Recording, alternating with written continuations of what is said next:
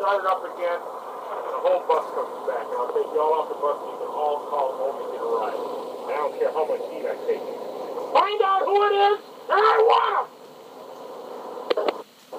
Or you can all ride in somebody else's car. That's disgusting. The Trouble is, several of the individuals who have caused the problem aren't on this bus right now. But there's somebody else here. You better straighten up the act now, or you better start stitching, or you better start ratting on some people, or you're all going to be walking. That's disgusting.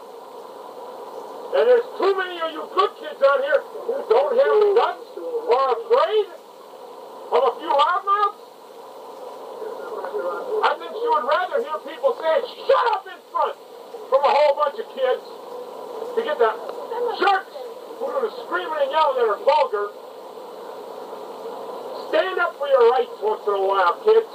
Otherwise, I'm taking it away from all of you.